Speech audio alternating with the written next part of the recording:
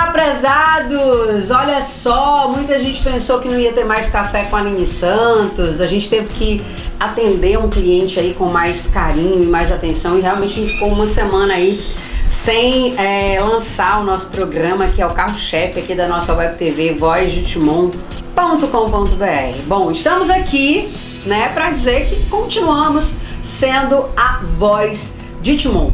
E hoje eu converso com ele que eu já conheço ele há muito tempo, ele é um comunicador, não entrou na política de forma aventureira porque há muito tempo ele conhece, ele conversa, ele fala sobre política, ele vive a política de Timon e do Maranhão. Eu converso hoje com o meu querido amigo comunicador e vereador eleito, irmão Francisco. Boa noite, irmão. Boa noite, é um prazer, é um prazer estar falando com você, é um prazer estar falando com todos aqueles que nos acompanham nesse horário, tá certo? É, é uma grande inovação para Timor. Esse é o programa, o programa qual esse a gente tem ouvido falar muito nas rodas e tem tido um eco. É bom que esse programa ele venha sempre trazendo as autoridades, ouvindo a opinião pública também, para que nós possamos também ter, estar tá mais recheado de notícias e de informação principalmente você que é uma pessoa que tem um grande gabarito, uma boa comunicadora, uma jornalista que a gente é, sempre acompanhou o seu trabalho e sabemos do seu trabalho, que é um trabalho muito sério, uma pessoa muito humilde e com certeza Deus vai te dar tudo aquilo que você quer, tá bom? Estou à sua disposição. Amém, glória a Deus, irmão. Bom, vamos começar falando do seu envolvimento direto com a política, né? Assim, a gente sabe que você sempre conversou, sempre falou sobre o tema. Você é comunicador, tem uma rádio em Timon, não sei se você ainda tem, mas teve, né? E como foi que o senhor deu o start para se candidatar? O que que levou o irmão a ser candidato?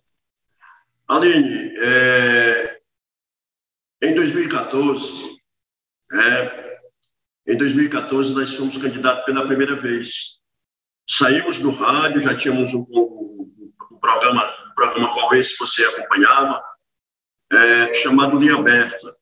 E esse programa ele nos foi um passaporte para que nós chegássemos à política. Um programa qual esse, nós também fazia um trabalho social com a população do município de Timon, aquelas pessoas mais vulneráveis, aquelas que precisavam de uma cesta básica, de uma consulta, de uma cadeira de roda. E aí, em 2014, logramos êxito em 476 votos. Né? Depois viemos aí candidato a deputado estadual em 2000, é, em 2000, perdão, não foi 2012 eu saí candidato a vereador pela primeira vez. Perdão, 2012 saí candidato a vereador pela primeira vez, tirei 477 votos, aí vim candidato em 2014, candidato a deputado estadual, tirei aí 1.280 e poucos votos também para deputado estadual. Em 2016, numa época muito difícil, uma coligação chamada Coligação da Morte, me colocar dentro dessa coligação, eu do PC do B, e lá também é, tiramos lá 744 votos. Né? Continuamos o nosso trabalho, nunca é, é, é, desistimos, e sempre acreditei que eu chegaria à Câmara Municipal. Quando foi agora em 2020, nós fizemos um planejamento com Jesus, né, o nosso Deus, e esse planejamento nós trabalhamos juntamente com alguns amigos, amigos como esse que já nos acompanham da primeira campanha e sempre estiveram junto conosco. E agora, em 2020, nós tivemos também o apoio da, da nossa igreja, que é a Igreja Universal do Reino de Deus. Né? A gente tem uma boa votação aqui fora, com os votos da igreja, aí se somou aí. Somou, né?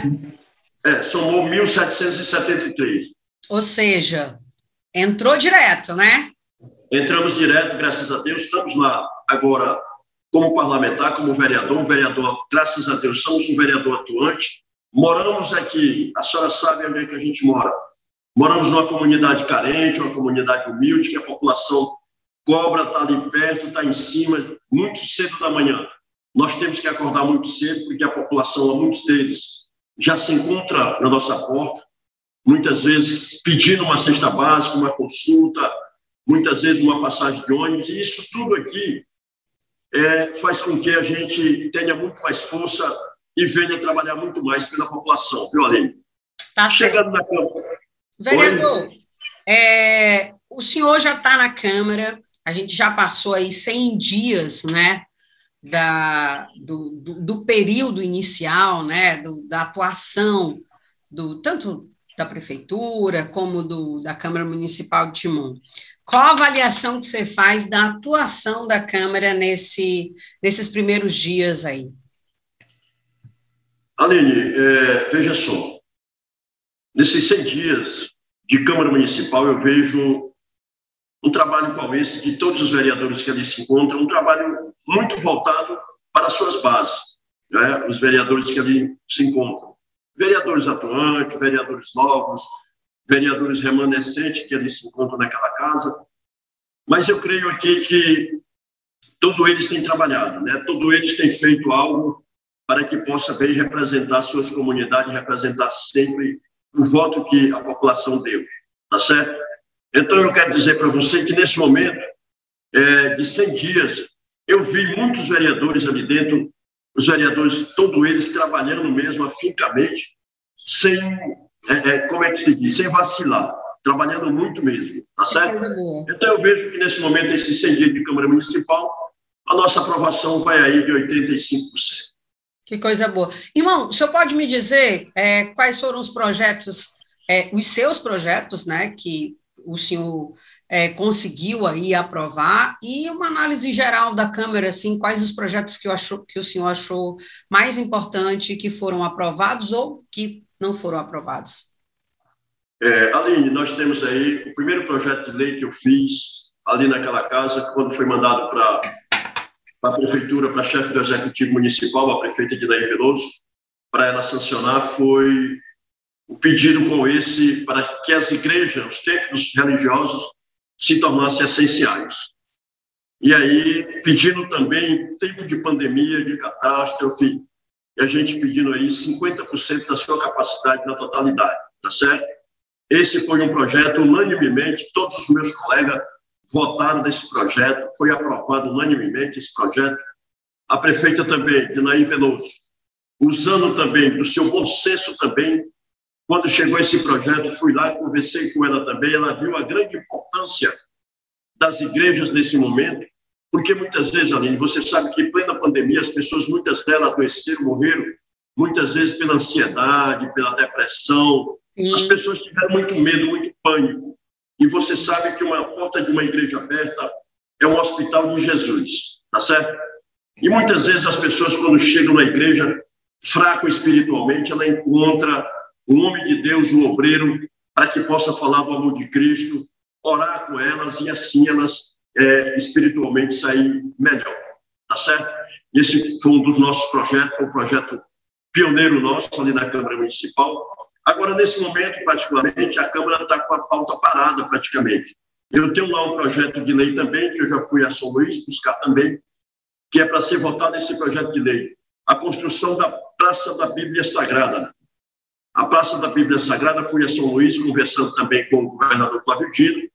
O governador já autorizou ao secretário da cidade, deputado federal Márcio Gerri, né, que a prefeita logo após também teve na capital São Luís também, e o secretário assegurou, levou ela também ao, ao governador Flávio Dino, para que possa também, é o governador garantir também para ela a construção da Praça da Bíblia Sagrada. Né? Ainda não foi votado, porque a, a pauta da Câmara nesses dias, eu vejo que ela está praticamente parada. E aí a gente tem que pedir ao presidente para que bote é, a pauta para andar, porque nós temos muitos projetos, muitos requerimentos, nós temos muitas indicações lá para que seja votada é, para que a população seja atendida também. E aí, Aline, nós temos outro projeto também que vai entrar em pauta também. É a Semana Cultural Evangélica.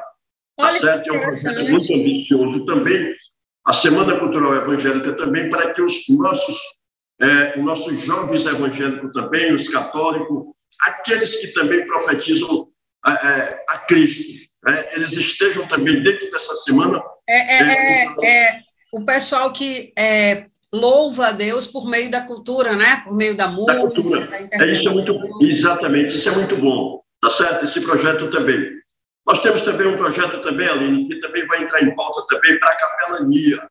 Os capelões são aqueles que vão aos hospitais, ao presídio, aqueles propagadores da palavra de Deus, que muitas das vezes eles não têm recurso, e nós queremos, nesse projeto de lei, a gratuidade para que esses capelões também entrem nos ônibus, tenham uma carteira e entrem nos ônibus gratuitamente, para que leve a palavra de Deus aos hospitais, ao presídio, e assim aonde eles forem também, tá certo?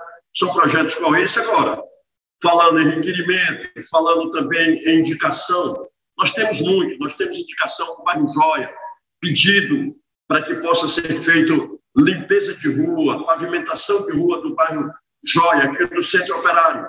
Nós estamos pedindo também aqui abertura de ruas do Centro Operário, pavimentação, limpeza de ruas do Centro Operário, iluminação pública também, o atendimento à iluminação pública também para a Cidade Nova também, aonde nós sabemos ali que, que na Cidade Nova, na Cidade Nova a precariedade também ali. Ali, e, vou te contar, hein, é? vereador, ali a situação é complicada. É, e a gente conhece, sabe, porque a gente vive perto ali. E aqui eu acordo cedo, cinco da manhã eu já estou em pé, aqui em casa, aqui, muitas vezes passando um cafezinho ali, já ouvindo as, as primeiras notícias, já orando, lendo a Bíblia, ouvindo as primeiras notícias para começar já a trabalhar, porque a gente sabe que logo, logo chega pessoas na nossa casa. Hum. E nós tiramos dois dias também. Eu quero falar também para você que eu tenho um projeto muito bom, que é o Gabinete Solidário. O Gabinete Solidário, nós levamos a, a cadeira de roda, é, a cadeira de banho, nós fazemos Legal. doação, nós fazemos doação aí para mais ou menos 50 cesta básica por mês para muitas famílias carentes. Ah, irmão Francisco, uma cesta básica não mata fome. Ela não mata fome ali, mas ela ameniza naquele é. momento a fome que está passando. Tá para quem está com fome, serve muito. Exatamente.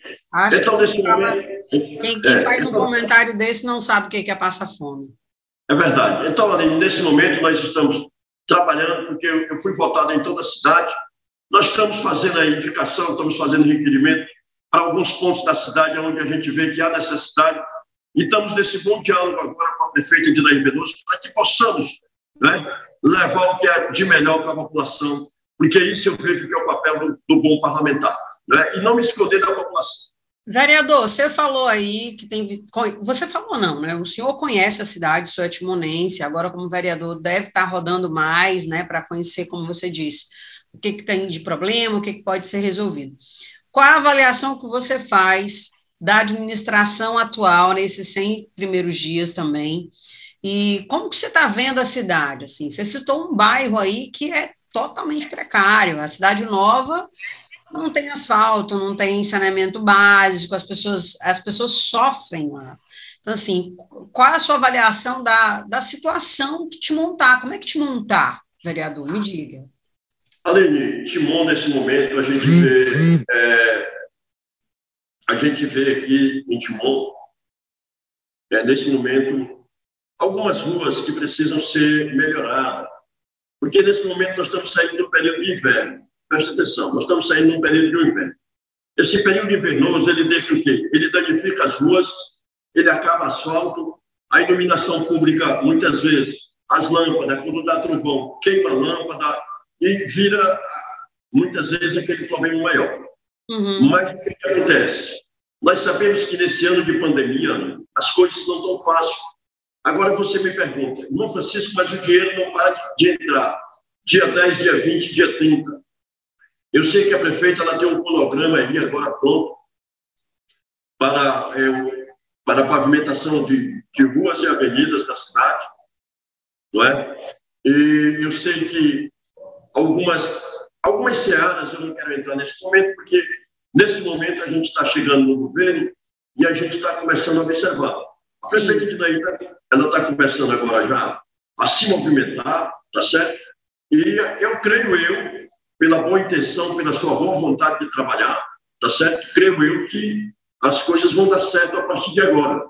Porque nesse, nesse momento de pandemia, o Brasil todo, você vê que o Brasil todo ficou acanhado, não é? Agora tem um projeto também muito bom do vereador Ilma Rezende aí, para a entrega daquela, da merenda escolar, o kit fantástico, Fantástico, Para mim é um dos projetos mais maravilhosos que existe. O presidente da Câmara, o presidente Wilma Rezende, aquele, um projeto dele também, muito importante.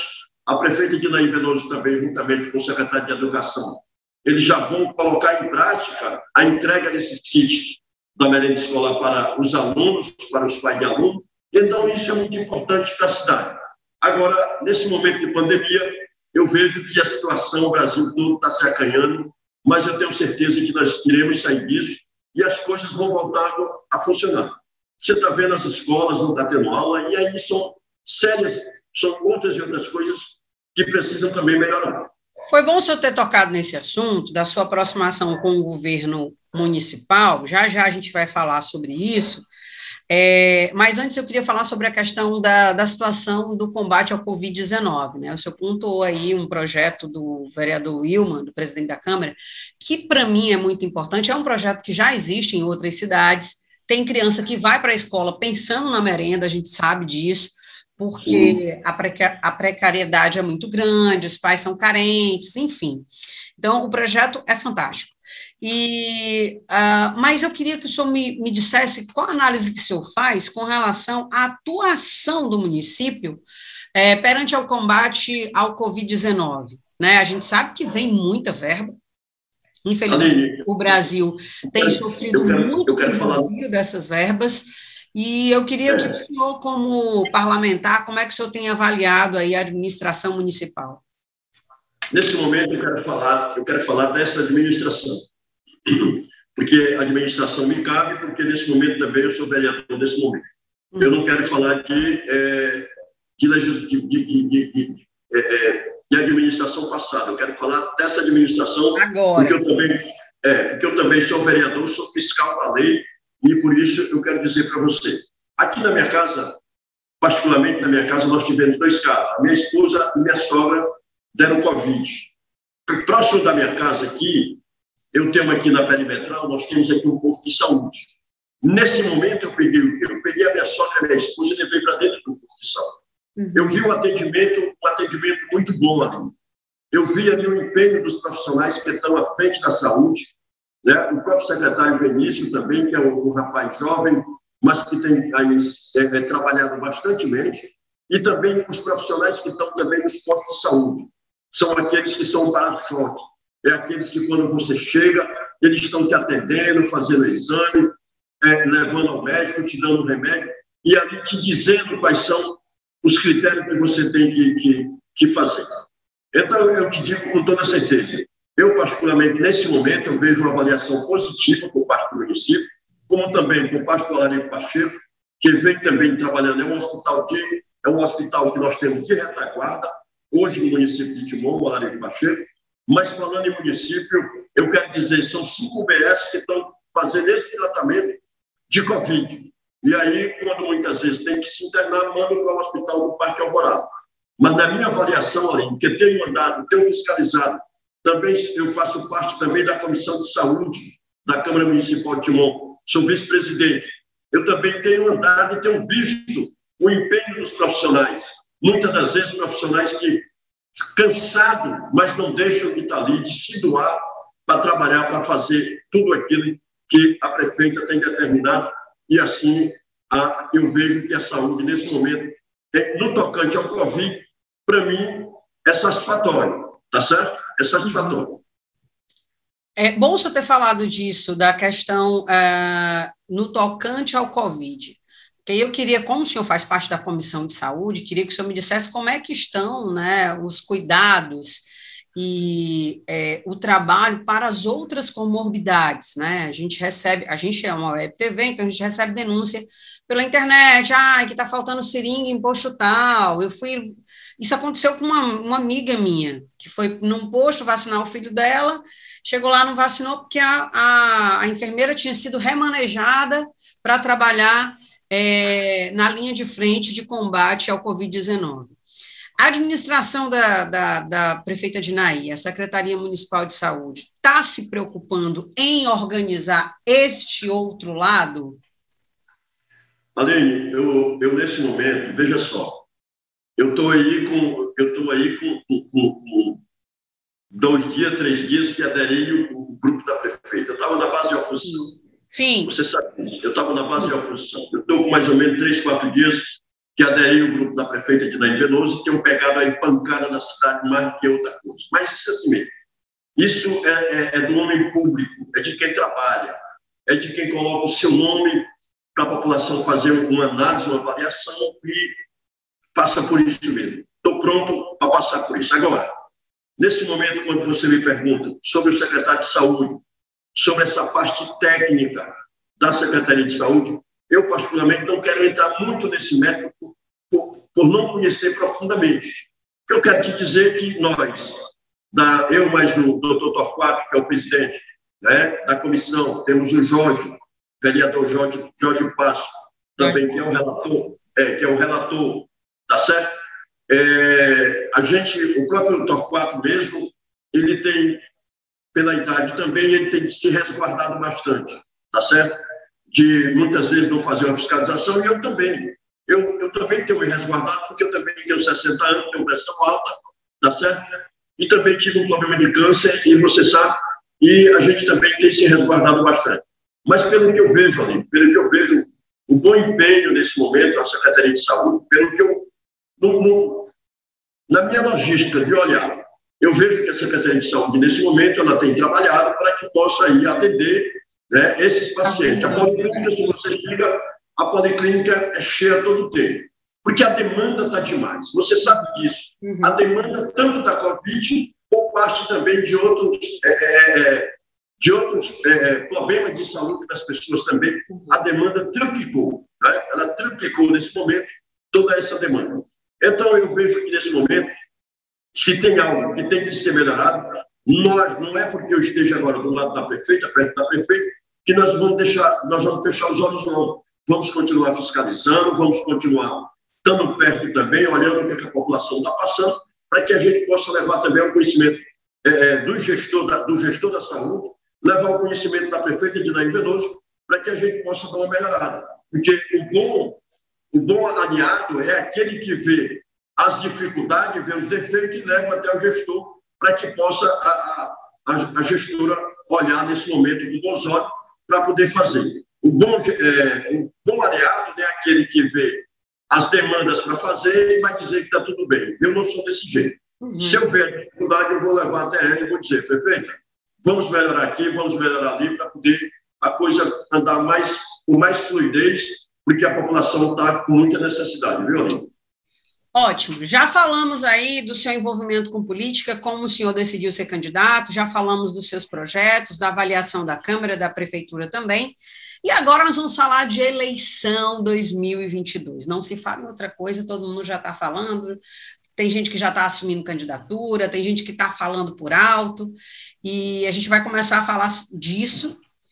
E uh, antes de entrar né, nesse nicho, eu começo falando da sua aproximação com o governo.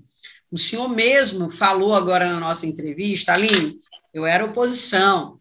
Então, o senhor foi eleito com grandes votos da oposição. E aí, neste momento, o senhor se aproxima da situação né, do governo municipal.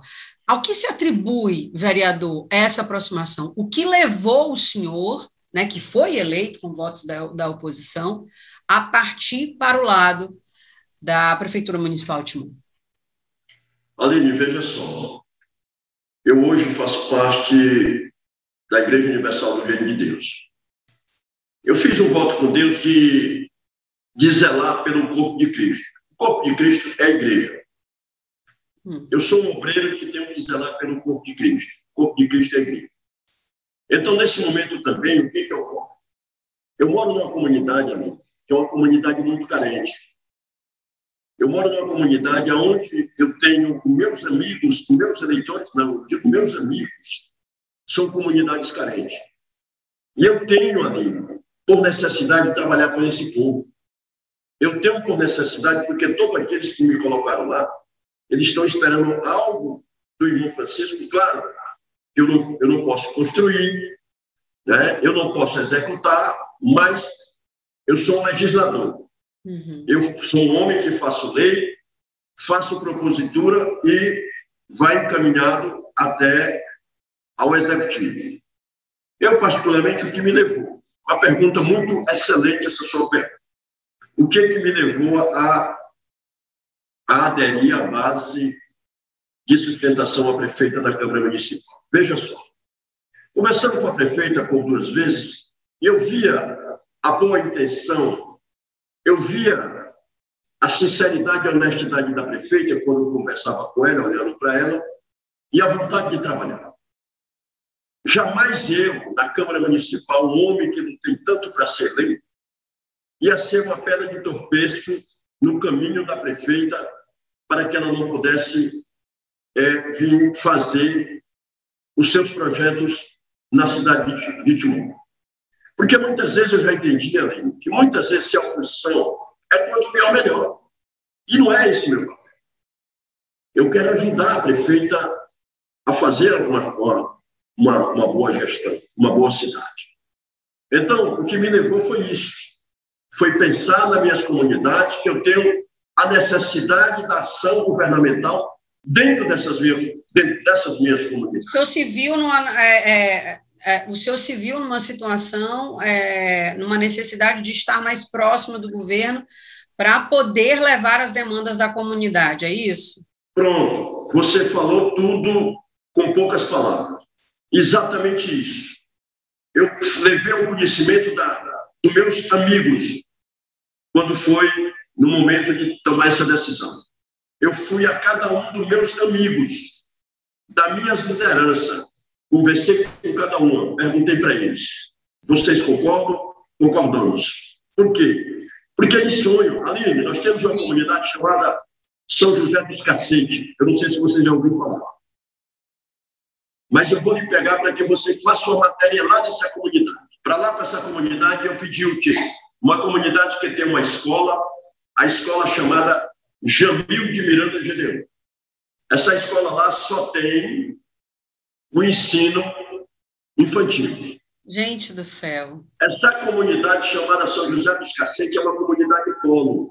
Em volta dela tem uma média de 22 povoados grande em volta do São José dos Cacete. O que, que eu pedi para o São José dos Cacete e falei com o prefeito?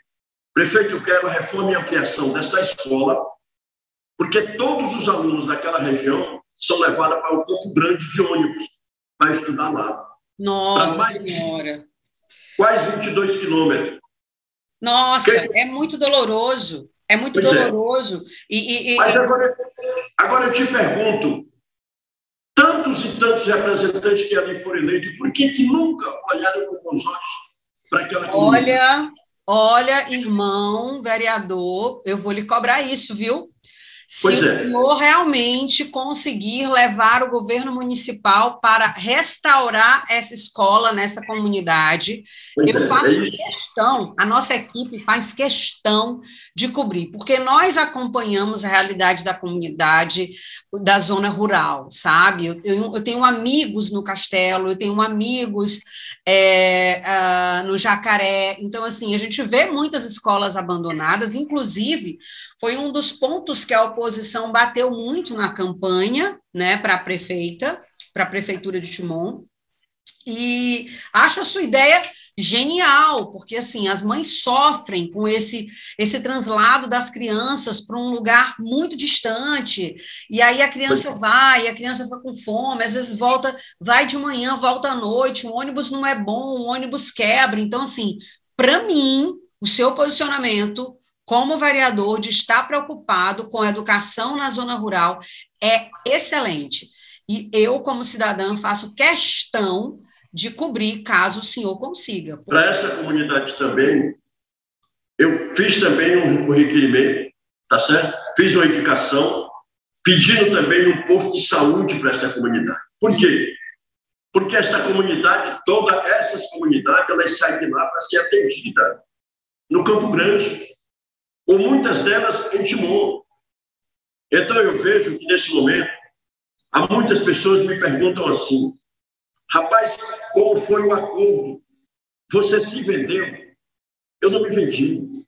Eu não tenho necessidade disso. Eu apenas estou trocando meu mandato por trabalho com as é pessoas. Estratégia política, né? Com a prefeita. Eu quero que a prefeita trabalhe e eu vou ajudar ela. Se ela fizer esses projetos que nós estamos querendo na, na zona rural. Lá eu tenho uma emenda, eu estou para receber uma emenda aí, de 790 mil. E para lá eu fiz a indicação para uma quadra poliesportiva, para valorizar essa comunidade. Tá certo?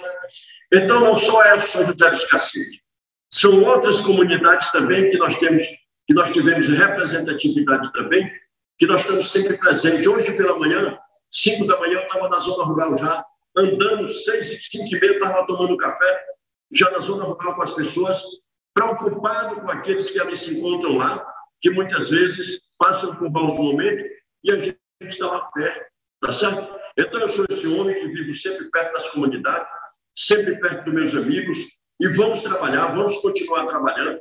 Eu quero também que as pessoas me cobrem quando eu começar também a ficar bom, tá certo? Porque é uma coisa que eu sei que eu não vou ficar. Eu estou hoje fazendo aquilo que eu tinha sempre pedido a Deus para fazer. Sim. É ser vereador, é trabalhar pela população, e assim nós vamos continuar trabalhando. Tá Olha, certo? gostei do seu posicionamento, estou muito feliz, vou torcer para que dê certo e vou lhe cobrar. Viu? Vou Tudo cobrar, bem. Não como jornalista só, mas como cidadão.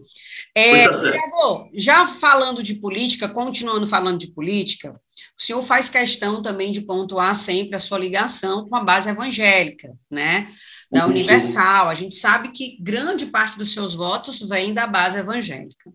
Eu tenho fontes, né, agora falando de 2022, fazendo uma análise política, eu tenho fontes que é, me, me, garantiram que vai sair candidato, vão sair dois nomes candidatos da base evangélica, da Universal.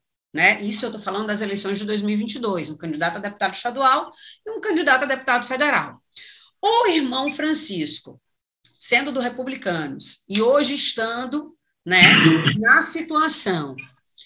Em 2022, como é que o senhor se comporta? O senhor vai defender o nome apontado, os nomes apontados pela Universal, ou o senhor segue o que o grupo leitor é, indicar?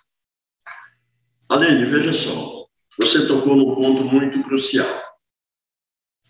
A Igreja Universal, nesse momento, se ela tiver candidatos, nós temos lá o pastor Renan, que hoje é o coordenador do Maranhão, como tem aqui no Piauí, o deputado Jacivaldo Isaías.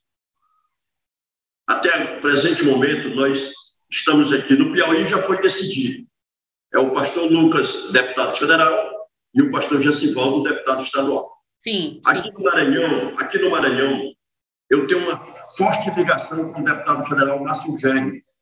Você sabe disso, todo mundo aqui da cidade sabe.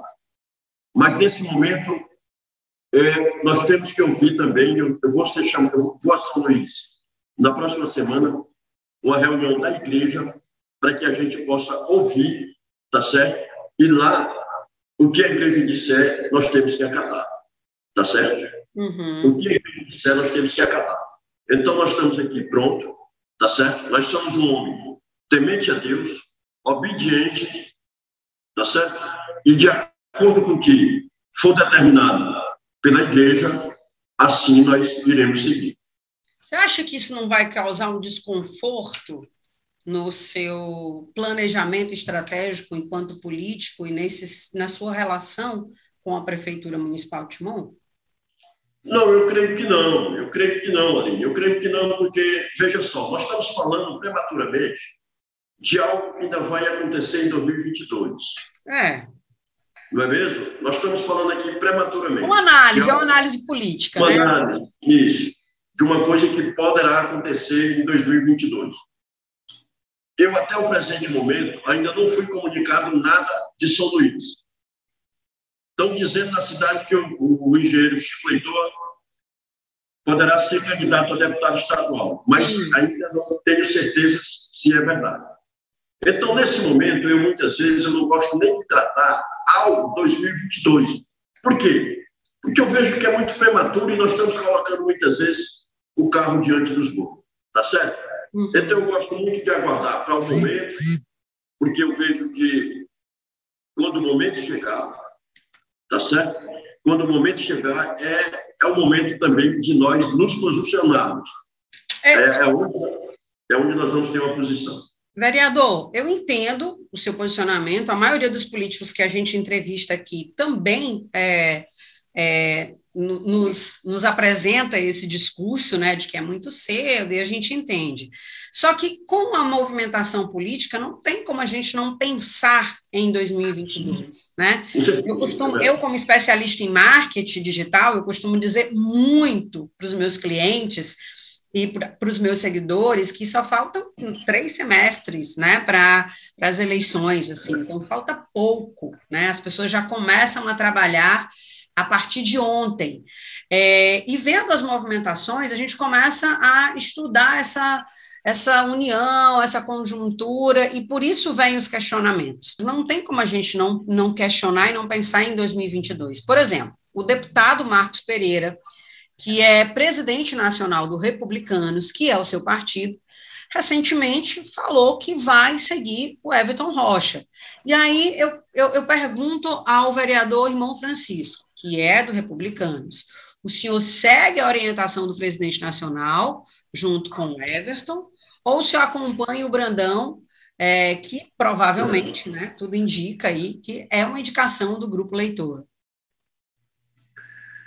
Aline, veja só, eu tenho, eu tenho dois questionamentos. Veja só. Nós estamos com quase, nós estamos aí com poucos dias que saímos de uma campanha para vereador, de vereador. Quero te dizer que ainda estou indo um pouco cansado. Tá certo? Brandão, Brandão, nós temos uma afinidade muito grande. Eu, mas o... Pois é, ainda tem isso. Você tem uma afinidade muito grande com o Brandão, né? Exatamente. né? Eu tenho uma afinidade muito, muito grande com o governador Brandão. Tá certo? Então, veja só, nesse momento, a gente vê que é um candidato que o governador Flávio Dino indicará para o grupo para ser o candidato ao, governador do, ao, ao, governo do Estado, Brandão. Aí você fala que o deputado federal e presidente do republicano Marcos Pereira, ele colocou o republicano aqui para apoiar uma possível candidatura de Everton Rocha ao governo do Estado. Sim. Então, nesse momento, eu estou dizendo para você, eu sou amigo do Brandão. Uhum. Tá certo? Eu sou amigo do Brandão. O partido tem o seu direcionamento. Tá certo? O partido tem o seu direcionamento. Agora, eu vejo que nesse momento, o governador Flávio Dino, com toda a sabedoria e habilidade política que ele tenha, com certeza as coisas daqui para frente elas vão se encaixar e será escolhido um governador, candidato ao governador de todo esse grupo. Na minha avaliação, será Brandão, por quê? É um homem maduro, já tem uma certa experiência, uma certa idade. O companheiro Everton Rocha, senador da República, um jovem que vem disputando na política nacional, na política do Estado. Creio eu que uma boa conversa entre ele e o governador Flávio Dino, ele, por ser muito moço ainda, aguardará para as futuras eleições ao governo do Estado, tá certo? Mas nesse momento nós vamos deixar as coisas acontecer para que a gente então, possa. Então, o senhor não acredita nesse, nessa possibilidade, nesse racha? Não, não, eu não acredito. Eu, eu sou muito eu sou muito de acreditar na união. E o governador Flávio Dino está trabalhando para essa união, essa união no Maranhão. Uma união qual essa que vai ser trabalhada em prol, em conjunto, é, no nome do vice-governador Carlos Brandão. Eu tenho certeza que o Everton Rocha, logo, logo também, é, com esse bom entendimento que ele tem com o governador Flávio Dino, com certeza ele vai entender que futuramente ele também, por ser muito jovem, né, um bom senador da República, um jovem de futuro promissor no Maranhão, no Brasil, com certeza ele será também governador desse estado lá futuramente, né? Mas vamos aguardar que as coisas daqui para frente as coisas vão dar certo, tá bom? Olha, o senhor não me respondeu, mas eu estou sentindo que é Brandão. Estou sentindo que o seu coração aí é, é para o lado do Brandão. Mas é como o senhor disse, vamos esperar. Bom, vereador, adorei nossa conversa. Eu acho que o senhor é, foi eleito merecidamente, acompanho a sua luta há muito tempo. Uh, acho que não só a base evangélica tem a ganhar, mas como toda a comunidade, não só é, de Timon, mas zona rural também. Então, fico muito feliz pelo trabalho que o senhor está fazendo e muito uh, agradecida por você, pelo senhor ter aceito o convite de conversar aqui com a gente. Obrigada e até a próxima. Quem quer agradecer sou eu, tá certo? Eu agradecer tanto a você como a sua equipe e a todos aqueles que acompanham, tá certo? A sua rede social, porque você é muito admirada, você é uma pessoa que tem muito talento, você é uma pessoa que sempre se preparou, uma pessoa muito humilde, eu sei, conheço a sua origem, uma pessoa muito humilde, e Deus vai te dar tudo aquilo que você precisa, que você quer. Você pode ter certeza Amém. que Deus vai, com certeza, te dar muita coisa belíssima e bonita, viu, querida? Que Glória Deus a Deus. Que Deus também lhe abençoe no seu mandato. É, abençoe sua família com muita saúde. Nesse momento é só o que a gente precisa, né, vereador? Saúde. E ilumine o seu caminho em todas as suas decisões. Um abraço e até a próxima. Visite a gente no nosso gabinete para a gente tomar um cafezinho, tá bom? Tá bom. Vamos brindar? Com certeza, vamos lá. Vamos brindar? O próximo café vai ser lá no gabinete. Combinado.